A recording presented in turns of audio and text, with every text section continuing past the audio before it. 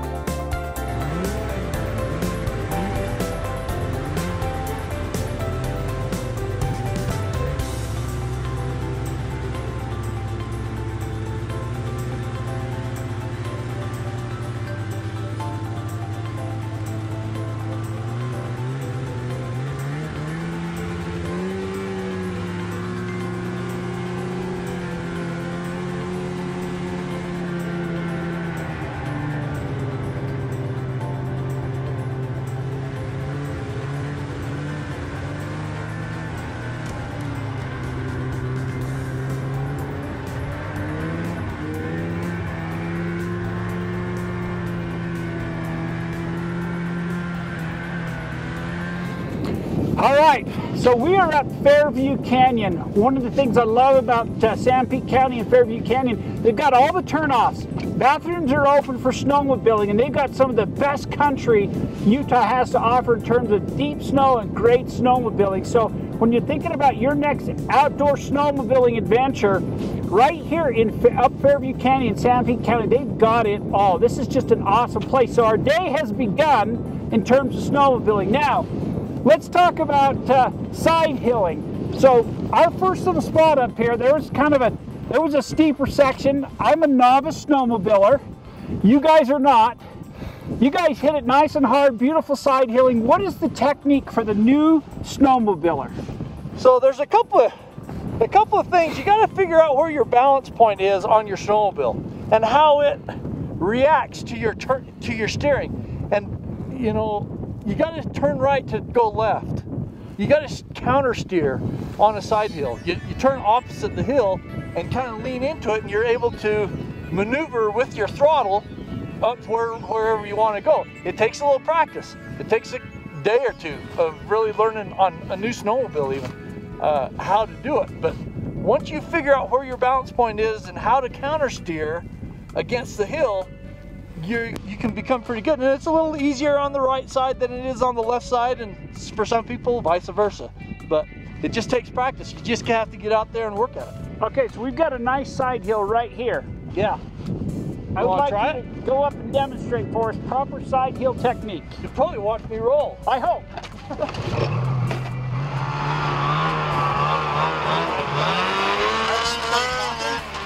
so I was watching his on yours and then yours went.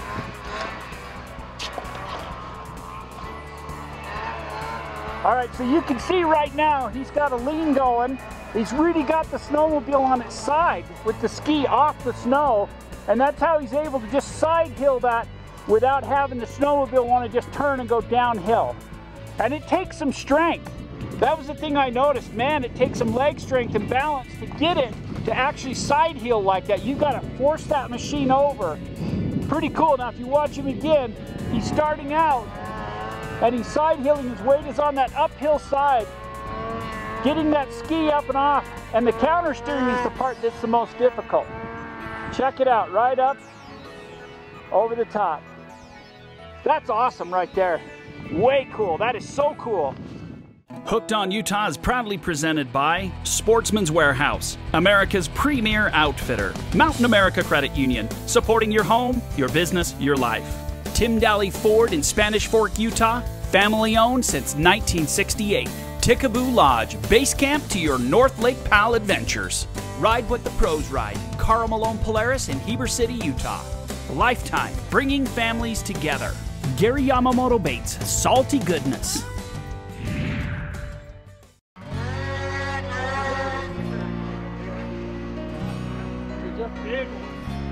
right,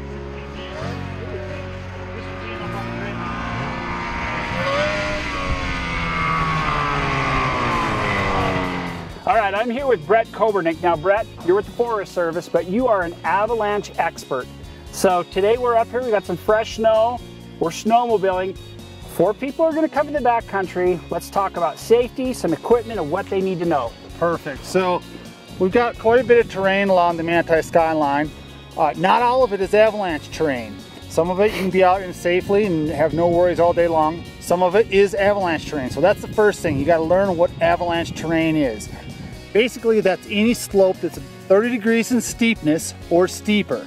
So if you're uh, on or below slopes of 30 degrees in steepness, then you're in avalanche terrain. If you're going to be out in avalanche terrain, everybody needs to bring the proper equipment, the avalanche safety gear. And that includes an avalanche transceiver, or also, also known as avalanche beacon. What does this do? This sends a signal out.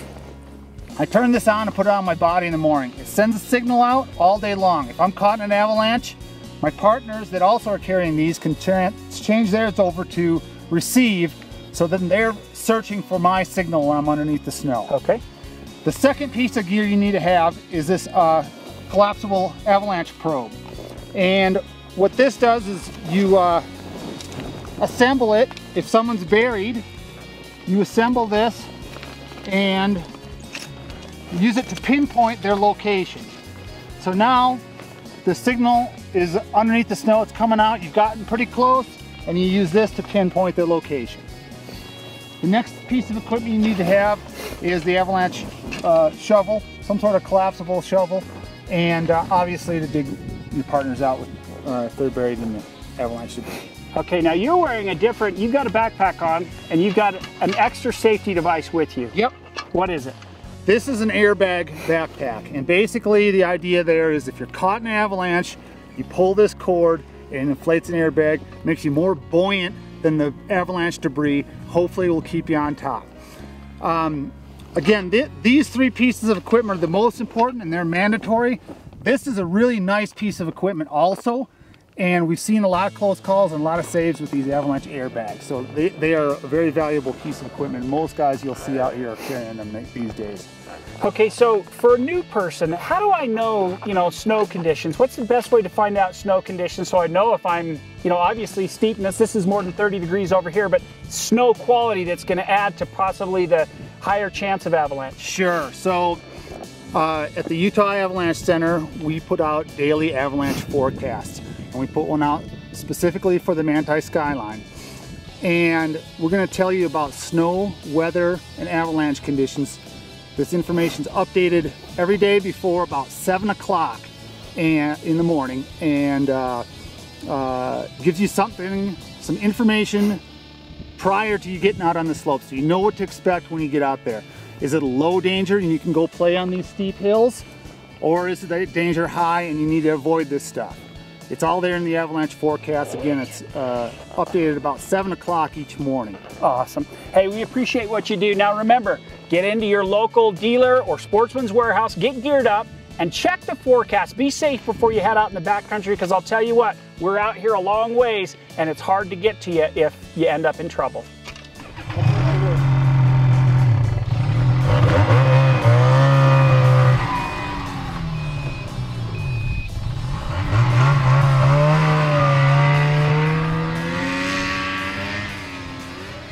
So we got a bit of a ditch here and we're trying to get up and over.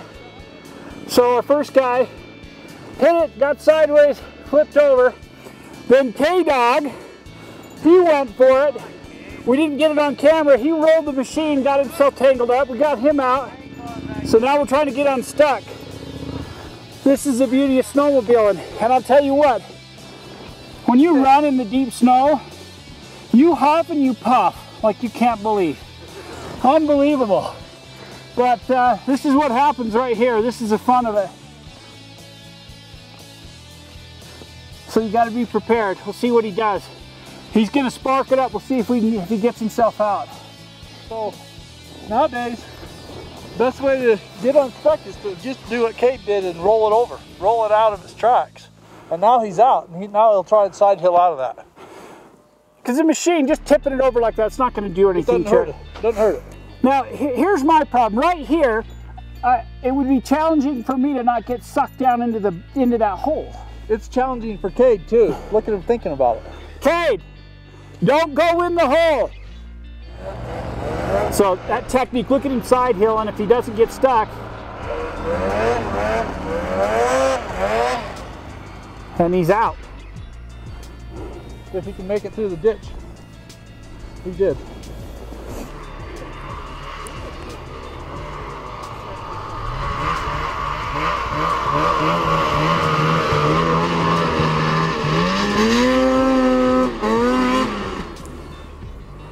Piece of cake. Nice. Round two.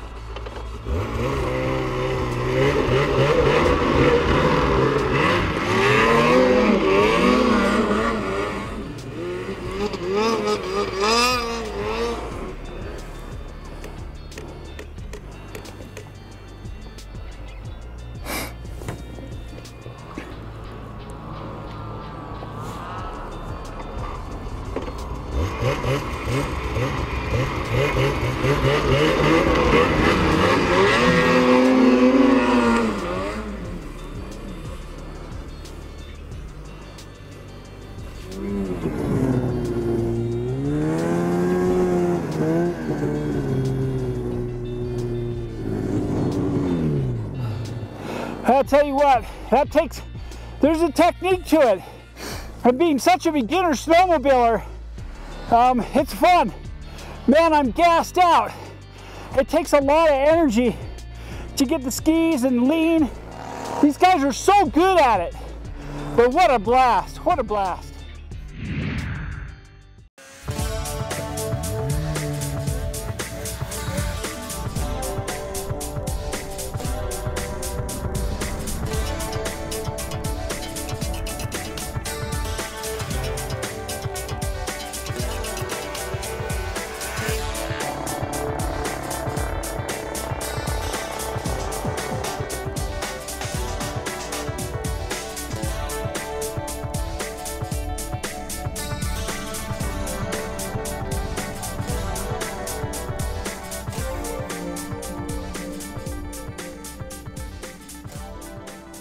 Okay, Brett, you're riding something very different. I mean, this is truly the hog. I mean, it's awesome.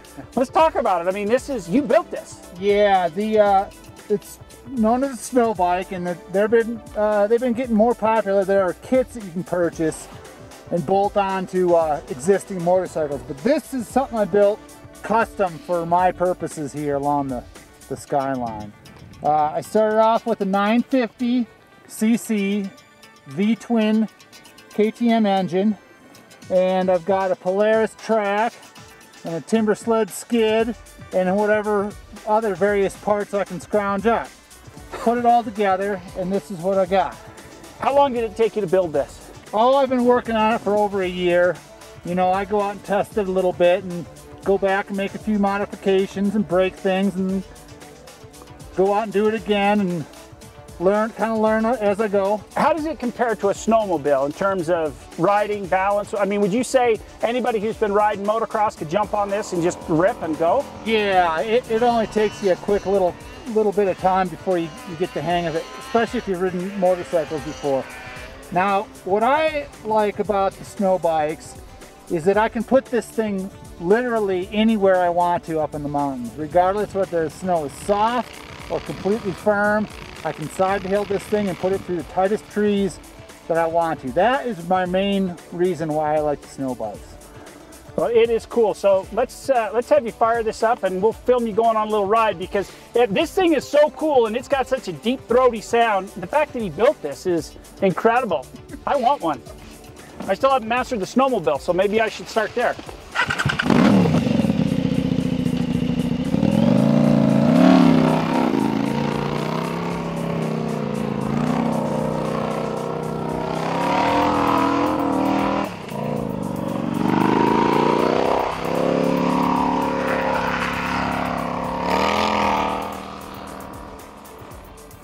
Isn't that cool? Big old throaty 950. And he says he's putting turbos on it, so he's got a little more bang in it.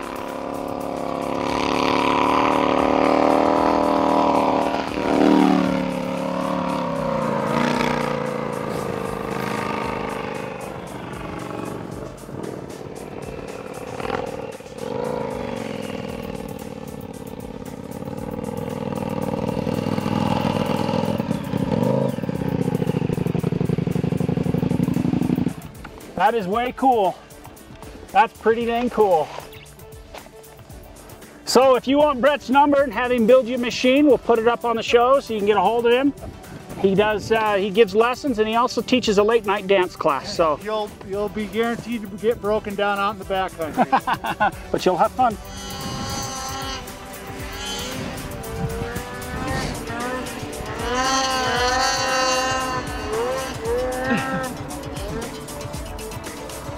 Awesome.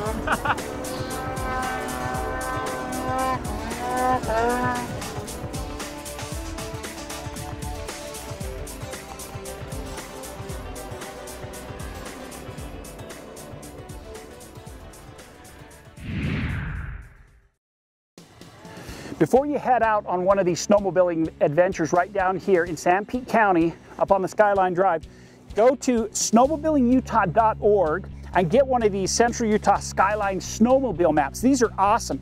They've got all the maps, all the trails for snowmobiling up here on the Skyline Drive. And it's just a great resource for you if you want to come up and snowmobile make sure you get this map. They have they've gone to great lengths to produce some of the best UTV and snowmobiling maps around. This is an awesome one. Snowmobilingutah.org, Sanpete County, check it out. All right, I'm here with Cade Eliason from Moroni. Now, Cade, what kind of sled are you riding today? I'm riding a Polaris 850. What do you like about it? Uh, everything. Yeah? Power, speed, track? It's they just come out with the it's a new motor they just come out with this year, and they're supposed to be pretty incredible. So Well, so far I've seen you do some pretty fun stuff. You got stuck, you've done some cool stuff, up some steep mountains through the trees. You've got total control of your sled, which is cool. Lots of practice. Yeah. What uh, what would you uh, what would you tell the beginner in terms of maybe one trick they can do that will help them be a better snowmobiler?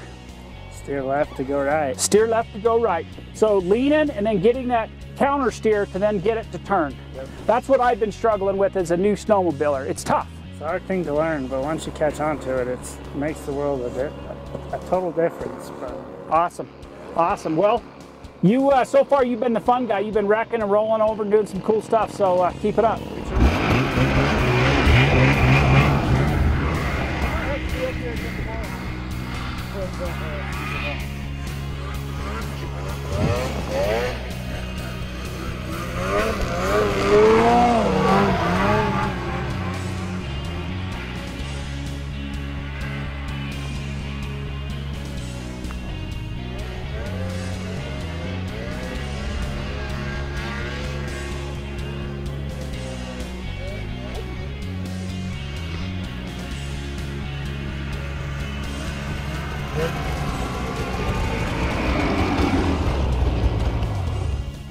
All right, this is Connor Eliason. Now he is Cade's younger brother, brother, but what I've seen is he's giving him a run for his money in terms of being the snowmobile king, right? The king of the mountain. Getting there. Yeah. What are you riding today? Um, Pro RMK 2016 155 2.6 lug. Boom! And the kid can ride. What do you like about uh, this sled? Um, it's light, and I'm not the biggest guy on the mountain, so gotta have the lightest sled to throw it around. And you throw it around well. We've seen you do some really fun stuff today. Yeah. What's the power like on this? Um, it's got a SLP stage 2, so it's pretty decent. Awesome. Now your brother gave us a tip on turn left to go right, opposite direction. What's your snowmobile tip for the new guy? Um, that's pretty much it, and That's it. Look ahead. Don't Look ahead, yeah. What look- happened to you this morning? I looked at the tree and I went to the tree.